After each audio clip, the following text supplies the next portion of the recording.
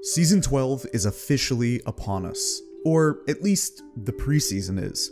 Preseason is a confusing time where many different things in this game become ridiculously OP. Sometimes champions will instantly become stronger, seemingly with no warning and out of nowhere. Other champions might suffer due to an indirect change that had nothing to do with them. For example, Rengar was quite nerfed on the Chemtech map as it removes a lot of bushes. You might call this an oversight, I might call it a fail, your friend might call this a mistake, and Riot might call it an intended feature. But either way, some champions win during preseason, and others lose. Thankfully for Rengar, he will be receiving a buff to actually allow him to jump in the chem fog. These massive game system changes typically require tons of band-aid fixes like this, and it will not be the last time we see this in Season 12. Besides the fact that the preseason is the most unbalanced state the game ever reaches, it can still be good fun. Think about it, every time there's a bunch of changes, it opens up many new doors to possible builds, runes, even roles for certain champions. Today, I'm here to give you some thoughts so far and help you have some fun in the preseason. To do that, I conducted a very simple, yet mentally taxing experiment. I decided to play this new season until I was on the verge of uninstalling. You see, I finished Diamond 2 in Season 11 where my top 4 champions were Cassiopeia, Yasuo, Swain, and Senna. The first day that preseason came out, some people were saying that Kassadin was quite strong, so I decided to try it myself. Turns out, pretty freaking good. After being just a single win away from Diamond 1, something tragic happened. My personal biggest losing streak of all time. I dropped 14 games in a row from the Diamond 1 promo game back to Diamond 4, and some of these were just horrific. I am glad for your sake that I endured this so you don't have to, because this preseason has easily been the most toxic, rage-inducing period of solo queue I have ever experienced in all of my many thousands upon thousands of hours of playing this game. The amount of genuine inters, people AFKing, soft inting, and rage splitting I'm serious when I say I feel like the preseason has been PBE level quality of games. It really took a toll on my mental health, but in light of a bad situation, I figured we could try to make some good fun out of it. I decided to sacrifice a bit of my elo to try some new things. I wasn't totally concerned with using stuff that was already proven. That doesn't mean that I trolled per se, but I was willing to give quite literally anything that came to mind a decent chance. AP Kai'Sa mid with first strike? Heck yeah, let's try it. I played over 150 ranked games and about 120 normal games so far trying out as many different things as I possibly could. It wasn't just about what I played, but also what my enemies and teammates were playing in other roles and having success with. I've been taking notes on every single game during this preseason, watching VODs of streamers and pro players, checking win rates religiously, and fully investing myself into Season 12 for better or for worse. So I'm here today to share what I've learned in over 250 games that I've played in less than one month. Now if I sat here and I told you that Viktor is strong and we went on a 20 minute ramble session about why he's good, that wouldn't really be a good video. I mean, maybe you would agree with it, but that doesn't necessarily make it entertaining. You know that he's good, and you've probably either been spamming or banning it in the preseason. But before we get into the most interesting parts, let's talk about some of the obvious OPs, the god tier champions, if you will, that you should probably be playing right now if you want to gain elo for the rest of this as well as the beginning of the new season. What more can someone say about Kassadin? Two new items, Crown of the Shattered Queen and Fimbulwinter, have turned a champion who was already good last year into now the most OP mid laner. If you are really snowballing, you can go for a heavy damage build with Shadow Flame and Ludens, and even after this Cosmic Drive nerf, Kassadin is still able to get a mini phase rush to allow him to kite around in a fight. We've already seen the first Kassadin nerf of the season on 1124B, where he was directly hit in hopes to bring him down a bit. But given the fact that most of the item changes were beneficial for him, it's unlikely that this will cause him to go anywhere. He is, in my opinion, the best mid laner in the game at the moment, and he's pretty much free elo. From one carry role to another, Vayne has become now the strongest AD carry in the game due to being the best lethal tempo user in the game. And although it was nerfed to lose the 25 bonus range on ranged champions, it also saw the attack speed bonus increased. There's a good reason why she has an insane pick rate, an insane win rate, as well as ban rate. She was also nerfed on the micro patch along with Kassadin, but it's just for the bonus AD on her ultimate. It's not that this is an insignificant nerf, but it's not also the reason that Vayne is really strong. I expect this to not matter very much, and we will be seeing lots more Vayne until she receives some really strong nerfs. Tank supports with the Glacial and Even Shroud combo. Both of these things were already nerfed once after the first patch cycle, but it's still very good. Let's say hypothetically, just for the sake of argument, that Nautilus or Leona hits one piece of CC on you. You're dead pretty much every single time. If Nautilus lands Q or Leona lands E, there's not much you can do about it after that. Sure, they're not as tanky as they are with the Aftershock setup, but the amount of extra kills generated is most of the time worth that trade-off. Even if the tank dies in the fight, if it means that the ADC gets 2 kills instead of just 1 because of all the damage and the AoE slow, that's definitely worth it. The top lane has a few premier tanks at the moment that were all good last year, but now with Frostfire are even better. Tahm Kench, Dr. Mundo, and Shen. What's the counter to these three beefball tanks?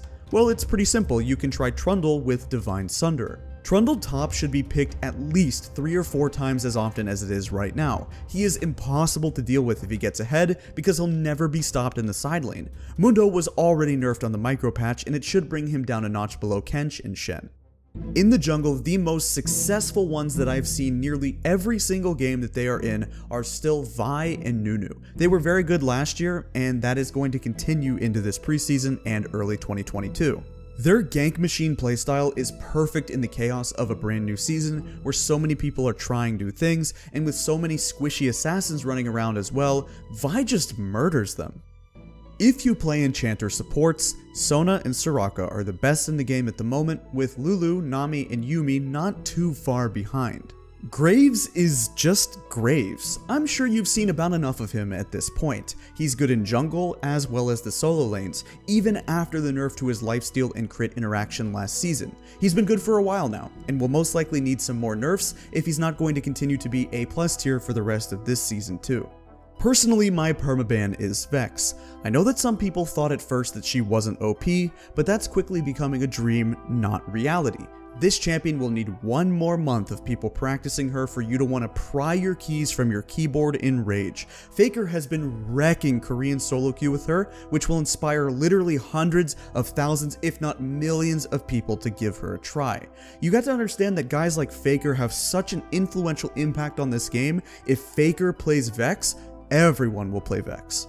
Lastly, the most stable pick in the game that you can play right now for climbing, especially given that we have a bunch of assassins right now with dashes, is still Poppy. She's good in both top and jungle, just as she was in Season 11. She has high damage, amazing CC, and very good tankiness. She's everything that you need to win skirmishes and climb. Alright, now that we've covered those obvious choices like Kassadin and Viktor as well as stuff that was already good in Season 11 and still is now, let's get to some new stuff. Let's talk about First Strike. This is a new keystone this year, and it's probably one of the most volatile changes they have ever made. Seriously, the potential for this rune on some champions is totally off the charts. For others, it's completely worthless. I've seen some confusion around First Strike and what makes it good on certain champions over others, so let's clarify exactly how it works just in case you didn't know. This little ball thing will appear next to your champion when First Strike is ready, and upon entering champion combat, you'll have a brief window to deal bonus damage. At first, that bonus damage was 10%, but after its first, and likely not last nerf by the way, it's now down to 9% bonus damage. That bonus is then converted into gold. 100% of that bonus damage that you did is now gained as gold for melee and 70% for ranged. So, for example, if you proc your first strike and deal 1000 damage, you'll gain 90 bonus damage, and if you're melee, get 90 gold. If you're ranged, you'll get 63.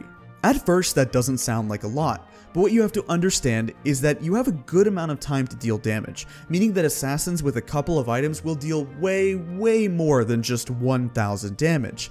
And there's no punishment for AoE, so an ability that does 500 damage to 3 enemies will count as dealing 1500. In theory, the most insane first strike abuser would be something like a full item AP Malphite for example, where you press R with first strike and the gold generation and damage would be insane. Obviously the gold is moot if you're already full build, but you get the idea.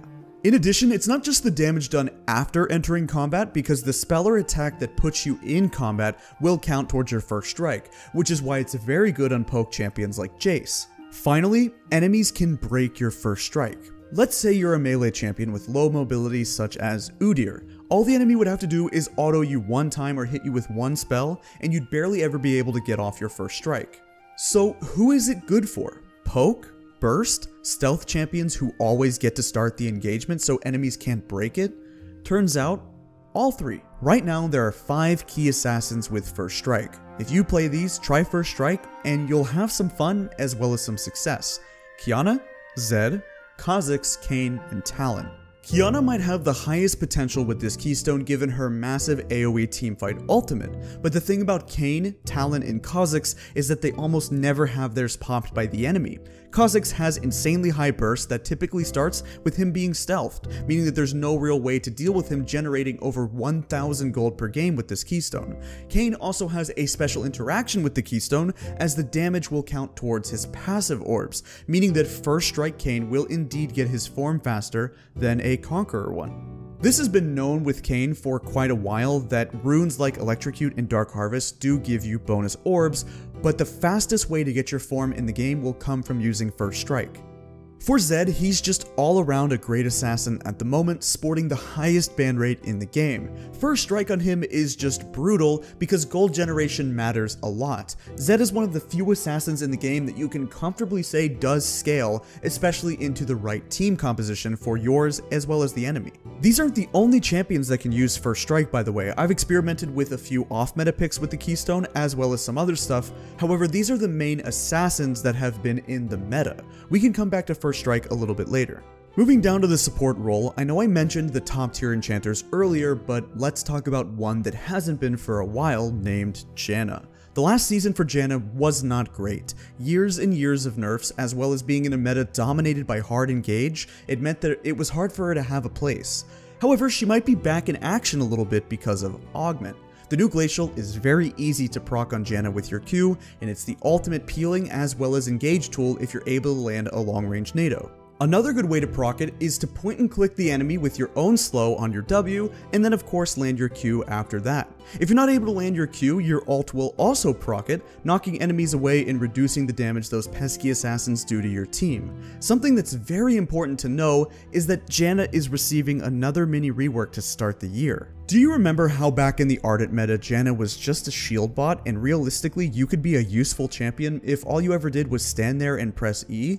Well, she was given a successful mini rework at the time, putting a lot more power into her laning with her W, and she's been a lane bully ever since then with a neutered version of her shield. I guess Riot didn't like the direction for Janna though because it's kind of all that she offered. Her biggest strength is maxing W and landing poke in lane, but her defensive tools are a fraction of what they used to be in earlier seasons. Riot has stated that this update is intended to bring down some of the power on her W and in lane and instead make her utility better and change her Q to be a better offensive aggressive tool. It's great to fantasize about hitting these very long range amazing Qs on Janna, but it's not realistic or consistent. It's too hard to land and is nowhere near as good as like a Blitz or Thresh hook to start and engage. The direction that they're going for here is to try to have Janna be able to start fights on her own rather than just most of the time disengage them. I think in theory this sounds okay, but one thing I'm worried about is that it's not going to be as fun. Janna for me as a non-support or enchanter player is by far the most fun after the original mini rework she got. Walking up in lane, playing aggressively, getting good poke is so enjoyable, but with them sort of gutting that part of her kit, my suspicion is that she's just going to be kind of lame. I hope that I'm wrong here because I enjoy playing Janna, she's genuinely the most fun support for me to play at the moment.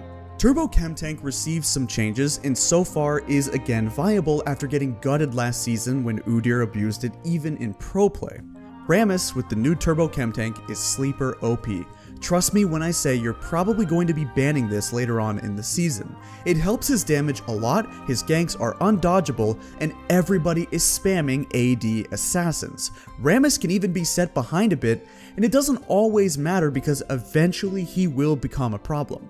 It's also possible that the Udyrs and Skarners of last season that were able to use this item could come back, but I don't have any games of them to base that off of because, well, who plays Udyr and Skarner? The three or four times someone has picked Rammus though so far, every single one of them did well by the end of the game. Sometimes they were set so far behind I thought it would be impossible to come back, but after the chem tank, the ganks are just unbeatable. Xin has been a good jungler for a while. Last year, they gave him some very strong buffs as well as some quality of life changes that brought up a dead champion from never played to competitively viable. Seriously, this might surprise those of you that don't watch pro play. Did you know that Xin Zhao had a 70% presence at this last Worlds? The Gore Drinker Conqueror build at the time being busted obviously helped out his case, but here's something that I've noticed recently. Every time that I've seen Xin Zhao's go Eclipse into Essence Reaver, they have done quite well. I know this is a heavy damage build that might leave you pretty squishy, so you think you could just one-shot him, right? But then he heals, knocks you up, your teammates can't hit him in his ult, and then all of a sudden he's one-shotting you with his Eclipse. Should you listen to me though? Well, as a rule, probably not, and also considering the fact that literally every single pro player still goes Gore Drinker Sterak's, it's entirely possible that what I've seen is just circumstantial, and it's a small sample size, but I have seen them completely carry games just by themselves with the Eclipse build, so maybe try it out in a norm first. As a League player, do you ever just start randomly theory crafting ideas about the game in the shower or while eating breakfast? I most certainly do, and one thing that popped into my head was AP poke Kai'Sa with first strike.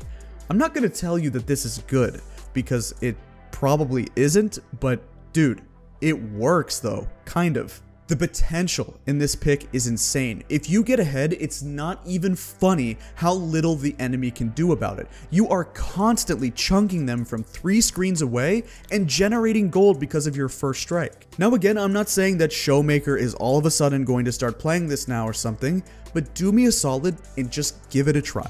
A very important note is that these games you're looking at in this match history, I played them before Kai'Sa got buffed, because on 1124B, they buffed AP Kai'Sa. Yep, that's right. So if I was able to have a ranked game like this, and norms that went like this, even before the buffs, it's possible that AP Kai'Sa isn't completely trolling. Most of the Twitch players that I've seen have been able to pop off using a build that I do believe is now getting more popular with Kraken Slayer into Titanic Hydra. AP Twitch isn't dead by any means, it's still a great build, but Lethal Tempo has quite a bit of potential here. Titanic's Wave Clear is very good, but you might ask yourself, why Titanic over Ravenous? Well, the cone effect as opposed to the circle from Ravenous is a little bit better in team fights when Twitch is hitting the front line in a proper front to back. Also, the massive amount of flat health makes him quite a bit tankier and harder to kill, and you don't really value the haste on Ravenous, and Omnivamp is kind of a terrible stat. A build that seems to have made a meteoric rise is Hybrid Corki. It looks extremely troll. Here's the full setup. The idea is that with Ultimate Hunter, Ravenous Hydra, Ludens, and a Void Staff, your rockets get the absolute maximum value to farm your first strike. The big one with this build just wrecks the entire enemy team. If you want something a bit more in depth, MidBeast has a review of this build. He was adamant in the video about its power level, saying it absolutely has to be nerfed. The funny thing is that in the review, he kept going on and on about how unbeatable it was, and then the guy who was super fed on Corki actually did lose. No flame or anything, that doesn't mean that he was wrong by the way, because just looking at the gameplay, the build is very good, it's easy to see that. A good example of it working in EU West High Elo was a game that No Way played, finishing with 16 kills. Interestingly, in this game he did not opt for the Ultimate Hunter setup as he went for Sorcery Secondary. Either way, this build isn't going anywhere because it's already being tested extensively by pros, and Corki himself is not a rare pick at the pro level. Without a doubt, even if Corki isn't building these exact items, and maybe they don't care about Ludens instead of something like Crown or Liandry's for whatever reason, because First Strike Corki is so good, he will likely be played in pro play this year regardless. For all of you Viego enthusiasts out there, crit is the way to go. I think except in circumstances where the enemy is entirely tanky, where Sunderer has a lot of value, crit is just so darn good. I am not a Viego player. Actually, I am brand new to him. I had not played a single game of Viego until the preseason. I didn't even own the champion, I never bought him out of the shop. And currently, I'm sitting at a 100% win rate, although with a small sample size. I didn't think that press the attack would be his best keystone, but when I saw some challenger Viegos taking it, I tried it out myself, and I think it's pretty dang good. The early game ganks are way stronger with PTA instead of the Conqueror damage, Shield Bow into Essence Reaver, Collector, Infinity Edge, and a situational last item, and you will be one-tapping people. This champ is totally crazy. Apparently you don't even need any practice on him to start winning some games. Akshan was supposed to be a mid laner, but over the last couple of months, more and more players have been playing him in his new best role. Lights, camera, top lane. I'm sure you've seen some clips of guys like Lourlo playing him top, but he's far from being the only one who's jumped on the top Sean hype train. He is everything that's strong about range tops and more. He can kite melee champions like nobody else can with his passive as well as Q movement speed. He shreds tanks with Kraken Slayer, and his E is stronger in this lane because it's a little bit easier to escape and utilize the walls. Every patch, his win rate and pick rate goes up just a little bit, but because he has no CC or tankiness of any kind, you would think that it sort of messes up your team comp, and that might be considered his only downside, but then you can just revive your teammates anyway, so who cares, I guess, go off. Alright, I have a secret OP pick for you. Okay, that's a total lie because it's not secret at all. People have played Rumble Mid for years now. Heck, it was even played in Pro Play. There have been Challenger Rumble Mid players for years. Cat's out of the bag, dude, but okay, anyway, Rumble Mid, very strong again. Probably the strongest he's ever been at. And I know that's a big claim, but check this out. Shadow Flame, Doran's Ring. Shadow Flame is obvious why that's good on Rumble, but Doran's Ring, the changes that this received is something that we have to talk about. D-Ring now benefits aggression and heavy trading, as manaless champions, which Rumble is, will now gain some health back. This starting item gives you that little bit of sustain he needed to be completely busted. I only laned against this one time, and it was so impossible to beat that I can tell you right away that Rumble Mid is a very, very strong pick, and I expect to see more of this. The changes to Demonic Embrace have done a lot of good for bruiser mages like Cho'Gath and Swain. It's made them even stronger, but one champion who should be building this all the time now is Zac. I think that if you get ahead on Zac Jungle, there's not too much you can do about him, and you can't really stop him. He does too much damage, has too much CC, and is too tanky.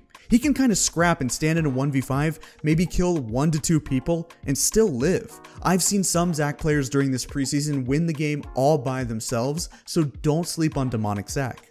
Alright, those were all of the champions that I'm pretty sure about and I think I know exactly where their place is in this game and I think that you should try. Now let's get into some that I'm not so sure about and I'm still evaluating. I have had some success with First Strike Diana and using the new Shadow Flame item, but because she's not the best user of Crown, a lot of the squishy mages that you used to be able to one-shot are now unkillable. Something like the Viktor matchup last year was pretty easy, but now it's a bit harder. In theory, she should be one of the best First Strike users in the game. If you're able to get an insane combo, you could do 400 bonus damage and generate 400 gold just like that in the blink of an eye. But instead, sometimes, because the top lane tanks are coming back, there's crown mid laners, and every ADC has shield bow, it's really tough to get off your one-shots. I really want to tell you that at the moment, Jhin is overpowered, but it's not exactly like that, it's more complicated, and something feels wrong by saying that. Jhin is nothing if not the master of consistency at the moment. With fleet footwork in the boots 4 pot start, it's pretty difficult to push him out of lane. Every time that I play against him, he's just full HP the whole laning phase and I run out of potions. Obviously, he still has tons of flaws, and his pick rate is also in part because he's just fun as heck to play. I don't think that he should be nerfed like Vayne was, but keep your eye on him. Nearly a 30% pick rate and still trucking along at around a 51% win rate, those are good numbers. I don't know how strong Caitlyn is. Historically similar to Viego for me, I never played her either. Actually, I used to say that Caitlyn was my worst champion in the entire game. For years, my Caitlyn has been pathetic, and that's sugarcoating it. However, I've put a lot of time into her, probably because of Arcane and the ASU that she received, and I've been using Lethal Tempo most games. What's funny is that I haven't lost a game yet in the preseason.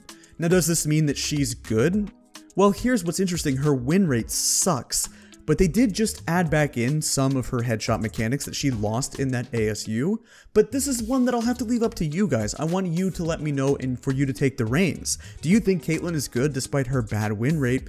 And if so, if that's the case, why would hers be bad with a high pick rate, but not Jhin's or Vayne's? Is Ezreal with First Strike just kleptomancy all over again? Eh, maybe?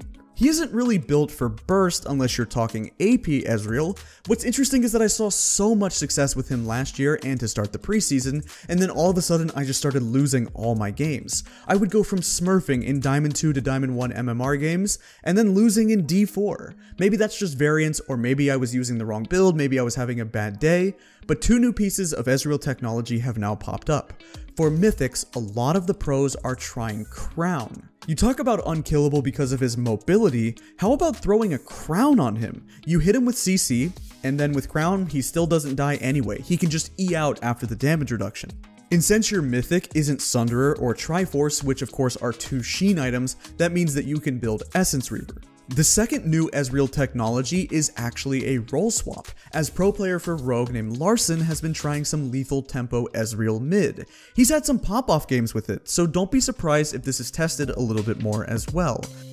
I didn't list Evelynn as one of the core First Strike assassins, but she has the potential to be completely broken with it. The most gold that I've ever seen a player generate from First Strike was by an Evelynn player who did 4k damage and earned 4200 gold in about a 40 minute game. She is in theory one of the best champions in the game to use it because 99% of the time you won't have it broken since you stealth in, charm them or proc it with your rocket belt, and then one-shot them.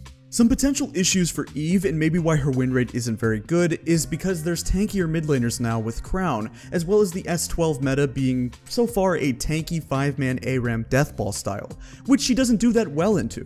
Obviously she loves the chaos of solo queue, but the lack of vision control doesn't really matter anyway since you're already stealthed, and you can't one-shot anyone if they all just group up on each other. Anyway, that's all I've got for you guys today. One thing I would appreciate a lot more than ever is before you leave if you could tell me in the comments what you thought of this video. This channel is obviously typically based on the history of the game, but since this has nothing to do with the history or the nostalgia or anything like that, if you enjoyed this, let me know. If not, that's okay too. Feel free to leave some constructive criticism. If this video does well, it might give me the green light to try some new content, and hopefully if you guys enjoy stuff that isn't just a League documentary, I could do that too. Thank you very much for watching, and I'll see you guys next time, and I hope you have a happy holiday season.